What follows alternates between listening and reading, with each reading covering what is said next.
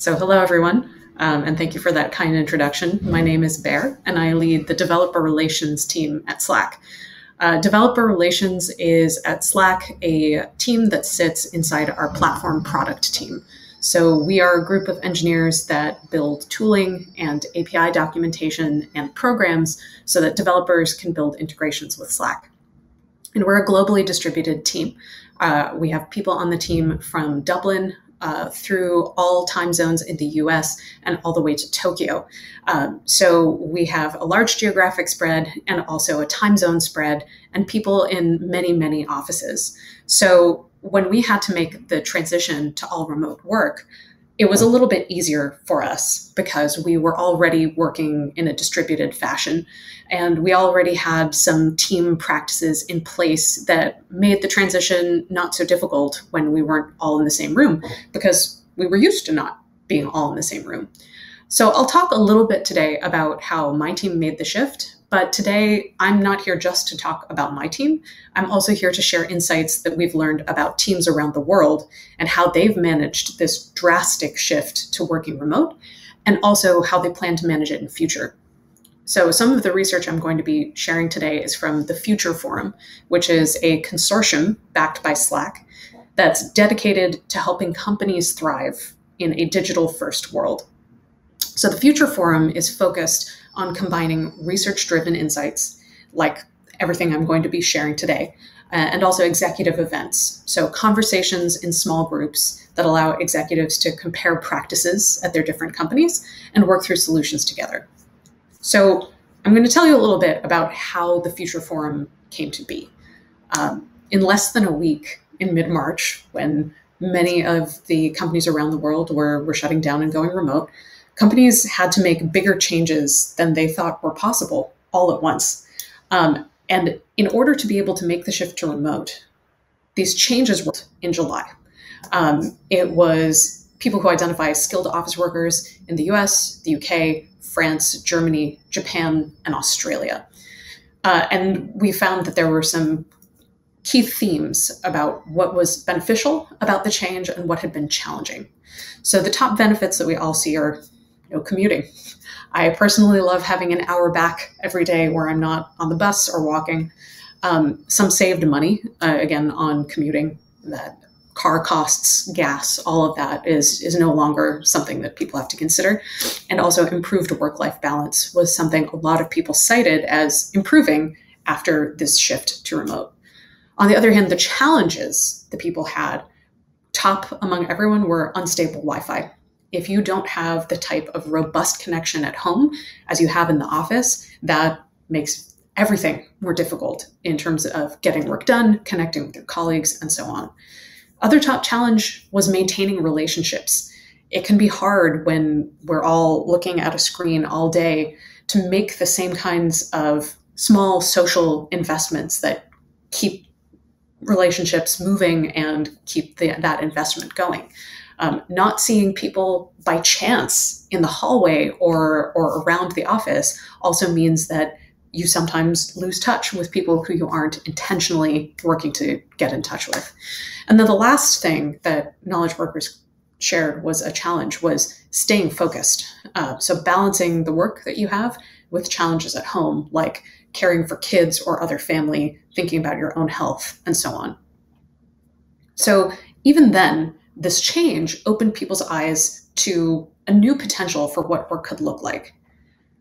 Only 12% of the knowledge workers we surveyed want to return to working full time in the office. And only 16% want to stay completely remote. So most people want something in the middle. They want flexibility. People want to work in a hybrid environment where we can work from home more often, but we have a moment to use physical space together when we need it.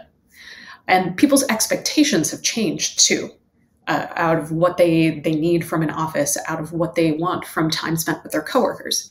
So for leading companies, this is a big opportunity. Uh, the opportunity is to move to distributed teams, which enables you to tap broader talent pools and not risk losing the talented people who want this something in between situation. Um, you want to be able to provide that to them. So companies are using this as a moment to rethink the role of the office and where and how you give people access to shared space. So there are a variety of different models that you can use from either completely virtual to everyone is back in the office all the time. And we see some examples of companies that, that are doing some sort of hybrid already. Even virtual companies like GitLab and Automattic, where they say they're, they're 100% remote, they do depend on occasional times together where everyone is gathered in the same physical space so they can build team and rebuild interpersonal relationships and get some amount of face time. And companies like Dropbox uh, are moving to what they call virtual first. Uh, but the idea is that they also have physical spaces called studios that are for teams that need space. So a lot of companies are already operating in this hybrid environment, finding ways to allow some people who need offices to have that, while also allowing more flexibility to work from anywhere more often. And this move to hybrid work opens up huge opportunities to rethink where you hire and who you hire. So companies have wider talent pools to tap geographically and also in terms of more diverse groups. And talented individuals with options are going to go to the companies that allow them the flexibility that they want. So, where people work is one part of this hybrid future, but we wanted to more deeply understand what is working and what isn't working for people who are remote. So, we conducted our Remote Employee Experience Index, which was asking about 5,000 people working remotely to compare their experience, scored on a scale from much better to much worse, remote versus in the office. And the midpoint was meant to be just about the same as if we're in the office. And so the first round of this index showed that work life balance was better for most people working remote. And there's a big asterisk here for working mothers in particular. Uh, work stress levels were better working remote. In our study, like others, shows that productivity is actually up for more people rather than down. Um, but belonging, this sense of belonging area in the red, that's where people are struggling. It's a sense of isolation, how to be part of a team, but overall, people's satisfaction with working remotely is better than it is in the office. Um, and what we found is that people who did what we called before the lift and shift, which is to say they're acting just as they did in the office, but they're doing it all over video conference, those companies did worse than the companies that had invested in digital tools and had actually meaningfully changed the way that they work. So here, here are two examples uh, video call to video call, you actually have a plan for your day and also getting exercise. But from a team perspective, and this is what companies and managers should pay most attention to, is investments in team cohesion that build belonging are still incredibly important to team success and maintaining team chemistry. So the, the remote employee index showed that organizations need to create opportunities for social interactions less frequently, but more explicitly. So a weekly status update meeting is too frequent and it's not it's not a celebration, it's a positive moment. You need to actually think about the types of event and meeting that are going to build that sense of bonding.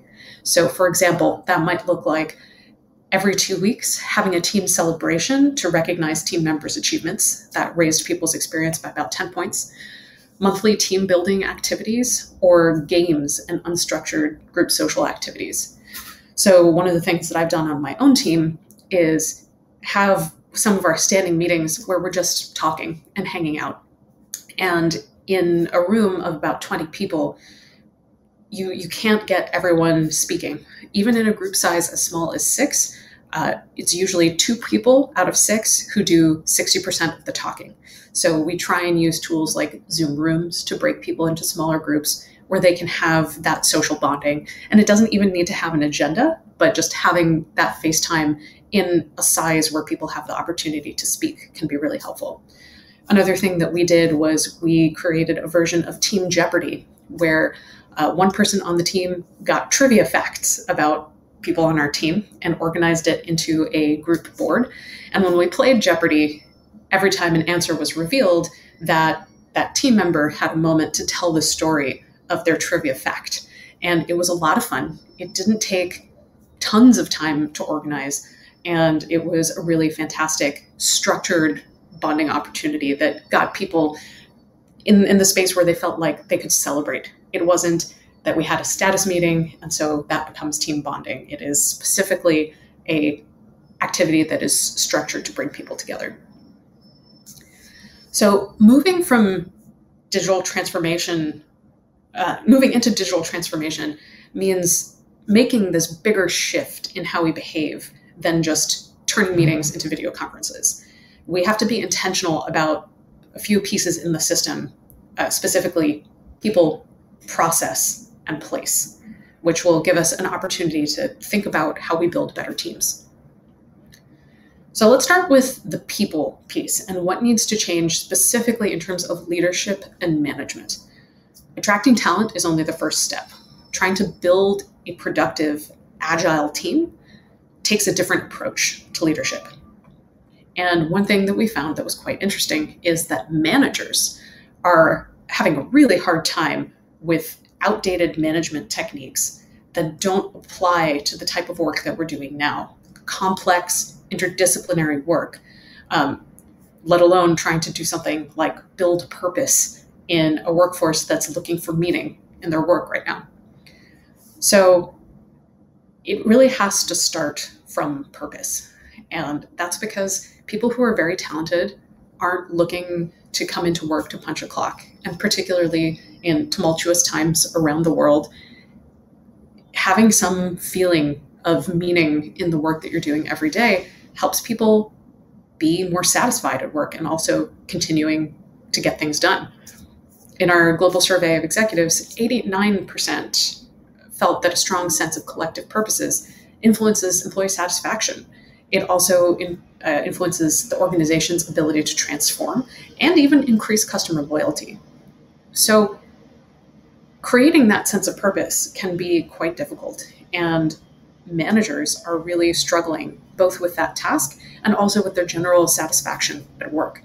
Um, they're struggling more than individual contributors on their overall sense of well being, their sense of belonging, certainly, their productivity, and their work arrangements.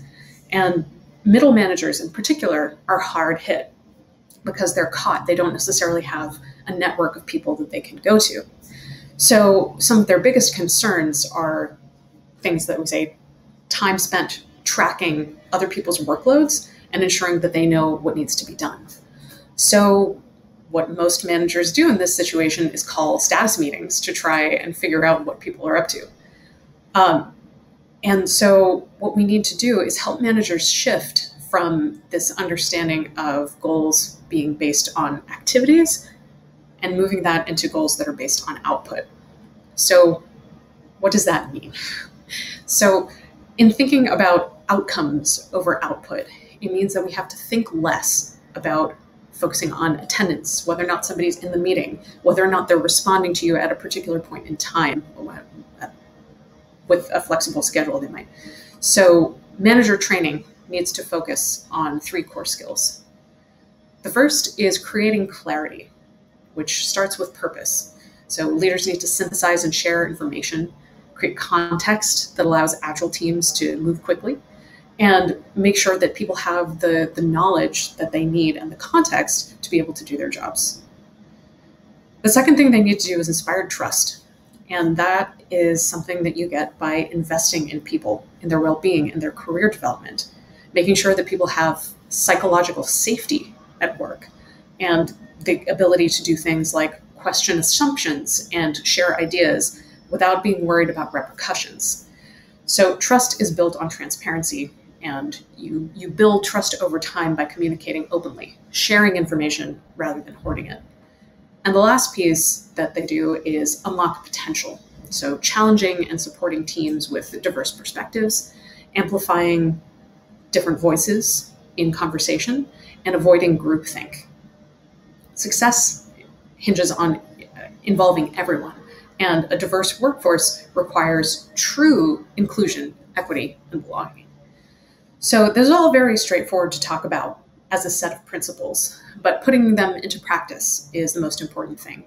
And at Slack, we actually have a required management training course that we call Basecamp.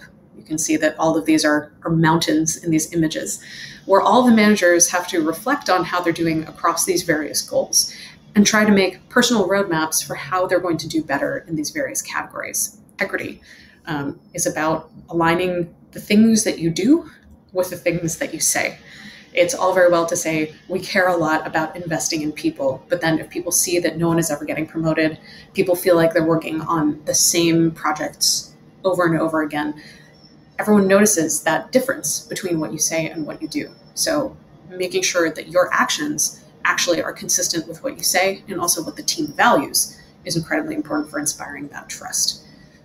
Investing in people is important for inspiring trust as well being sincerely interested in the team member's success and well being.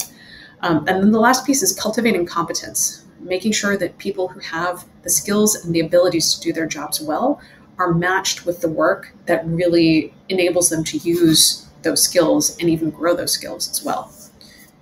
And then the last piece that we have a checklist for is unlocking performance.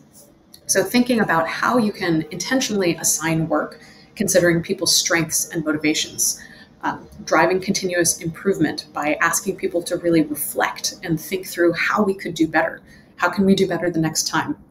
And also creating accountability for results. And something that I want to call out here is that accountability doesn't just mean potential punishment if you don't if you don't achieve your goal. It's about celebrating achievements and it's also about not allowing low performance to persist on a team where people are taking on undue burdens because other people on the team are, are dropping balls and leaving them to pick up that work. So these more concrete principles are something that's really helpful for managers to think through where is my team doing well? Where am I doing good things for my team? And where do we need to, to double down so that we can deliver this better experience that works well in a remote world. So that's the shift that we need to make in our management techniques. But in the research from the Future Forum, we also found major opportunities to rethink work process. So in the office, we have for a long time had a norm that work happens between 9 a.m. and 5 p.m. And most companies generally choose to follow that logic into the remote world if you put a meeting on someone's calendar at 9 a.m., it's generally expected that they will be there. And we've known for years that meetings are not always productive uses of time. Uh, in 2017, a professor named Leslie Perlow at Harvard Business School surveyed 182 senior managers, and 71% of them said meetings are unproductive and inefficient. 65% of them said meetings keep them from completing their own work, and 64% said meetings come at the expense of doing deep thinking. 62%, still a majority, said meetings miss opportunities to bring the team closer together. So we know that meetings are not always great and that they have some problems. And these challenges have gotten worse in the pandemic. People are wrestling with enormous burdens in addition to what's going on at work. And so we need to change our, our process around meetings. The index, the Remote Employee Index, showed that one of the biggest factors that influences a positive remote experience is the ability to break free of the nine to five and instead work a flexible schedule. So, workers who have the option of working a flexible schedule score higher than those who are forced to continue to work nine to five across every element of the index. And the positive impact on elements like work life balance, which was 23 points up, shouldn't surprise anyone. But what is more interesting is the fact that people with flexible schedules score nearly twice as high on productivity compared to people who are working nine to five, and significantly better when it comes to sense of belonging, and only slight negative impact, minus 0.2 instead of minus 5.8 on sense of belonging. So we need to change this interaction model. And there are some things that we can do to better enable flexibility without harming the team's ability to work together. The first thing is creating dedicated team hours and changing that dedicated team hour from being a smaller window than eight hours. So, by creating blocks of time for team collaboration specifically, uh, you can call them burst blocks, where you expect everyone on the team to be available to work together. So, for teams like mine that are distributed globally, you might want to consider what time zones people are in and maybe create one burst if your team is all in the same time zone, actually drive better idea generation. And a way to make that work, the only way to make that work, is to start taking more meetings off your calendar. And there are smart ways to do this. Start by looking at every meeting that you have that has more than eight people in it, where the objective isn't clearly decision making or team bonding, and try to move everything as possible from synchronous meetings to tools. So, for example, is it a status check? Move it to a tool like a Slack channel or a spreadsheet or a living document and give people deadlines for when they need to put updates in there and rules for how you talk about, for example, an item that's not on track. Second, is it a broad communication meeting? You can record it and then share your recording and your slides and any write ups, giving people the opportunity to ask questions in public channel. And both of these things make it a lot easier to be transparent. When something happens in a meeting, the people in the room know what happened. When something happens in, for example, a public Slack channel, anyone can see the output. And if it affects the work that they need to do, it means that they have access to that information now in a way that they didn't if all of the decisions and all of the conversation are happening in meetings. And most importantly, it means that you get to have fewer meetings. So that is talking about some of the processes that need to change. And then there's the bit about place digital space and physical locations where work happens that need to be redesigned for this hybrid flexible model. So, in the traditional corporate setup, including at Slack before the pandemic hit, uh, we had one central headquarters, and that headquarters had an executive floor and then floors where different teams huddled together. And if you weren't at headquarters, for example, if you were in a uh, remote office, remote office, you didn't, you lost that connection, that regular connection with headquarters. And in some places, that definitely felt like there was a ceiling for people's careers. If you were in the remote office that is in a time zone three hours away, the top you might be able to go is, say, director or head of a country and so on. And there were whole teams that felt left out or were looking locally for career advancement opportunities, but were limited by the physical space of needing to gather. So now we have this opportunity to unpack the office. And the next generation of leaders are going to move to a digital headquarters, but still leverage physical office spaces for people who need it and for the varieties of needs the companies have always had outside the 80% of the space that people use just to do heads down work. So many companies have functions that require office access for some portion of their work.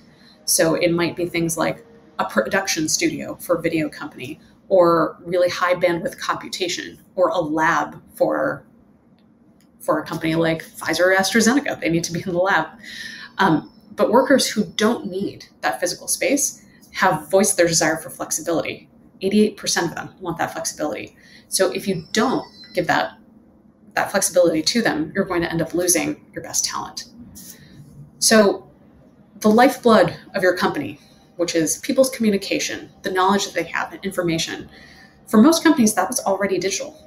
Um, the average enterprise is already using over a thousand different SaaS tools to do things like uh, track sales pipelines through your CRM system, to do things like share project management updates, to manage your social presence online. So many of these different things happen across thousands of SaaS tools. So all that information is already online, it's in the cloud. And the tools people use are incredibly important to making individuals and functions more important. But context switching is still a big drag on productivity. So, switching between the apps and where you interact with them takes away some of the efficiency gain you get. So, uh, more than 64% of workers in our 2019 State of Work survey said they spend more than 30 minutes a day just switching between tools. That's 130 hours a year just on switching between tools. So information exists in the cloud, but it's in a lot of different places. And you need a place to bring them all together. And even in the world in which we are sitting in the office, having a physical office doesn't help. You need some place online where all of that comes together.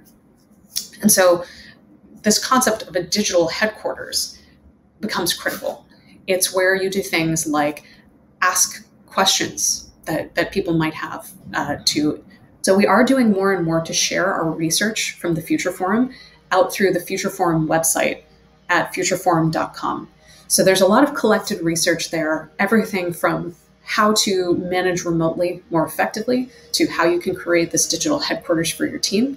And we try and focus on the concrete tips that will help you actually make these differences. It's very easy to say workers want to be flexible, but doing the making the organizational change so that people actually get that flexibility is where the the promise that you make really has to turn into reality. So our focus for the next several months and years is going to be on sharing those concrete tips and you can find them all through the future forum. That said, I did want to leave some time for questions as well. So thank you so much for having me, and I am happy to answer any questions that you might have, either about how my team is operating throughout these changes or uh, some of the research that's coming forward with the Future Forum. Thank you.